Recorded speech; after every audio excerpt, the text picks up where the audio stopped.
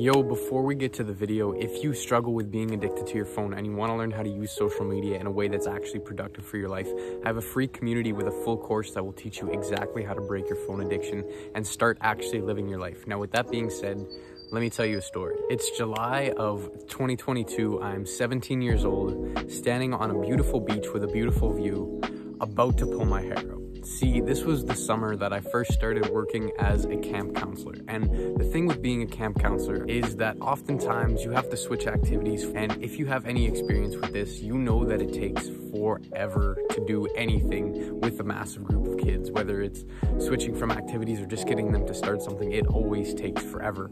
And the thing was, we were just switching from going from swimming and doing like a bunch of activities on the beach to going for a hike. And these kids did not want to leave. It was taking them forever to get out of the water and get changed into their gear for hiking. And it was actually cutting into the time that we needed to go for this hike and it was just like they were moving slower than molasses. It was extremely slow. And some of the kids were actually even like resistant to put their shoes on and get going for this hike because no one seemed to want to actually go. They all wanted to just keep playing at the beach. But we had to move on to this next thing. And while I was just standing there waiting, about to pull my hair out, annoyed from waiting for these kids for so, so long, I eventually just got an idea that I knew would speed them up. As they were all getting ready, and there was a few who were ready, eventually I just asked, hey, who here thinks that they can beat me in a race? And eventually, pretty much all the kids shot up their hand, oh, I think I can, I think I can. And I'm like, well, if you guys get ready, we can race over there and then start our hike. And it was like something flipped a switch. It was like night and day. These kids magically started to move quicker than Usain Bolt off the blocks in an 100 meter race. Like these kids were hustling fast because they could all imagine the glory that would come with beating a camp counselor in the race. Now, obviously none of them actually beat me in that race because I wasn't gonna lose. It only took one little thing to get these kids to move a lot faster. And it was simply because they weren't focused on the fact that they had to stop swimming and leave the beach anymore, but they were now focused on what could happen if they beat me and the glory that would come with beating your counselor in a race. And they were excited to do something. And although this story has nothing to do with how to beat your phone addiction, it demonstrates a concept that makes it easier than you ever thought possible to stop being addicted to your phone. Thank you. My name is Colby Wallace, and I'm helping young people all over the world stop being addicted to their phone and actually start living an enjoyable life. Now, if you're near my age, maybe a little older, maybe a little younger, you grew up with technology. It's no secret that Gen Z is all addicted to their phones. Everyone in modern society uses technology in some way or another, whether it's watching Netflix or watching a video like this. We've become accustomed to having this thing in our everyday life. And the thing is, a lot of people want to spend less time on their phone. They know scrolling on Instagram and TikTok and just spending time consuming mindless content isn't that good for them. And they want to learn how to quit, but they just can't seem to bring themselves to do it because they find themselves getting bored and then just opening up their phone again and starting to scroll on the apps again. And they feel bad when they do it because they're trying to quit, but they don't actually know how to get off of it. And the thing is, if you find yourself still being super addicted to your phone, I don't blame you because these apps are quite literally designed to be as addictive as possible. But with that being said, there is something that you can do to break away from your phone addiction, and it will make it so much easier to not only spend less time scrolling on social media, but actually start living an enjoyable life. And the one change that I did to break my phone addiction was simply discovering what my purpose was. When I say the word purpose, I don't necessarily mean the thing that you're gonna do for the rest of your life, but it's just the current thing in your life that resonates most with you. It's the thing that brings you so much joy when you do it. It's the thing that gives your life meaning right now. And a lot of us, we don't have that thing. We don't have a certain activity that we really enjoy. And that's why we find ourselves scrolling on social media all the time. We're not necessarily scrolling on social media because we like to do it, but it's something that fills our time and it prevents us from being bored. And the thing is, a lot of us are afraid to feel bored because boredom makes us kind of feel lonely and it makes us kind of question what the meaning of our lives is right now. But it's only once you can actually feel that boredom that you can find something to fill it. Now, Finding your purpose isn't actually as difficult as it might seem. It comes down to just doing things that you genuinely like. It comes down to doing something that puts you in what's called a flow state. Now, a flow state is kind of just what athletes call being in the zone, or when you're doing something where you just feel present. Time doesn't really pass by all that quick. You are just focused on what you're doing. You are 100% present. You're not just thinking about the future or worrying like about the mistakes you made in the past. You can just focus on what you're doing. So for me, speaking is a big one. Just talking in front of a camera or talking to other people about concepts that I'm actually passionate about and feel the need to help with and articulate myself in a way that I feel can help other people, that puts me in a flow state. As soon as I start talking,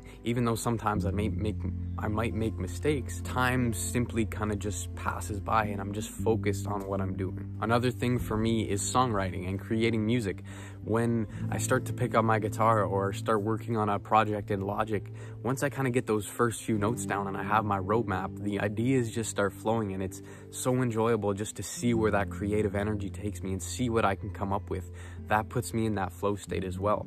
Now, you may not think that you have something like this in your life right now and you think like, well, I don't know my purpose. I don't know how to find it. But the thing is, purpose really just comes down to mission. It comes down to what you want to be working on right now. What is your goal? What do you want to progress at? It needs to be something that you can build on. It needs to be something that you can continue doing for a long period of time. And this is what a lot of people search for either in video games because it gives them that progression or they fill it with social media. They find something to fill their time. But the only way to break away from that is to find something in real life that you genuinely enjoy doing. I remember back in March of 2020 when COVID first started, this was really a time where I found myself consuming more on social media and Netflix and YouTube and all this useless content because I found myself with more time. I still had things like I, that I like to do, mainly basketball and music, but I was spending far much more time actually consuming than doing those things. And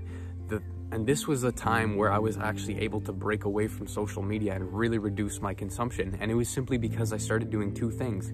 One, I started lifting weights. This was something that I fell in love with doing because it allows it allowed me to see that progression. It allowed my brain to have something to always constantly be thinking about. I was either thinking about the workout that I was going to do and making my plan or I was thinking about the meals that I was going to eat. And some people may call this unhealthy, but for me it was in its it was an obsession that brought me a lot of balance in my life because I was no longer just consuming mindless content. I was actually doing something that I'd enjoyed and I was seeing progress at it. And it also helped me to form a lot of the a lot of the best friendships that I ever had. And the second thing that I started doing at that time was songwriting. And this kind of changed everything in terms of what I wanted to pursue in my life once I started doing it. And I didn't even have any real gear. I was just really first starting to learn to play guitar. So I would just sit there and write metal songs and record them on GarageBand on my iPhone and I'd have a blast. I could sit there for four hours and just work on one song, even though it wasn't very good or it wasn't like I wasn't ever planning to really release that recording. It was giving me something to do that I enjoyed. My time was now filled with things that I genuinely enjoyed, even though it was COVID and I still couldn't necessarily see a lot of people and my life didn't get that busy, which it eventually did, which I'll get into in a second. But it gave me something to be thinking about. It gave me something to it gave me that meaning that I was looking for in life and trying to fill with social media and consumption. And that's the reason why most people go back because they can't find that meaning. Now, for about the next year, I was still consuming a little bit, like I was still watching some Netflix here and there and YouTube videos, but I was in a much more healthy place than I was before instead of spending seven, eight hours just all consuming all this mindless content every single day. And it wasn't till COVID kind of really started to die down and I turned 16 when I started to really start gigging as a musician and starting going to the gym with a lot of other people. And my life just kind of filled up with busy things because I was doing things I was genuinely passionate about. I was playing a lot more sports, working on music all the time, training in the gym with like two different coaches at once and still trying to work out with my friends. Like I was doing a lot of different things. And that eventually just got me to the point where I had no more time to consume social media. And some people may think this is a bad thing, but for me, it was the best thing ever because every, pretty much every hour of the day, even though I was always occupied with something, it was something that I liked and it was something that genuinely fulfilled me. And I'm not saying you need to go to the extent that I did where pretty much you're always doing something different and you don't really have days off. But for me, that's just what I love to do. I just love to always be working on something. I never really stop thinking about the work that I'm doing, whether that be for, through YouTube or for music. I'm always just thinking about how I can progress more. Even the things that I do in my downtime are contributing to the progress that I want to make, whether it be exercising or reading books or just talking to people about like life experiences stuff and just traveling it's something that's aligned with my purpose which is trying to develop myself to the point where i can help other people and do that same thing through music and i know it can be kind of difficult and kind of daunting to go down this path of trying to discover what your purpose is but technically right now if you don't know your purpose you already have a purpose. Your purpose right now is to find your meaning it's to find your why and that is your current purpose. With purpose we always have something that's different. At first when i was a kid it was like soccer that's all i wanted to do. Then that kind of turned to basketball that's all i wanted to do. Then that turned to weightlifting then music and it always keeps evolving. So you can see yourself at stage one right now you're in that zone where your purpose right now is to find your purpose. So now you can start filling your time with trying new things and trying to discover what that thing is for you that's going to bring that light into your life. And I know it can seem kind of intimidating, but trust me when I tell you that discovering your reason why and really starting to pursue your passion will bring so many new things into your life. It doesn't just come with filling your time, but the mental health and the physical and just like the overall quality of your life will improve so much because you're gonna have something that brings substance into your life. You're not just blankly gonna be scrolling on social media trying to get dopamine hits because you're bored. You need to be bored to actually go and find what it is you're meaning, and it's hard. I remember what those days were like when I didn't feel like my life had any meaning and how empty it felt. But looking back on those times, it gave me that reason to go and find something better and gave me that reason to improve. And I would never have the life that I have right now if I didn't go through that period of time where I didn't know what my reason was. Now, with that being said, if you don't already, my name is Colby Wallace. I'm an 18 year old artist from Canada. And if you like videos like this on how to beat your phone addiction and want to hear some of my original music, you should subscribe. I'm not sure what you're waiting for. It's a win for you, it's a win for me. And again, if you really want to break your phone addiction, there's a free community linked in the description. Also, my original music is also in the description. And with that being said, never stop creating, my friend, and I will see you in the next one. Goodbye.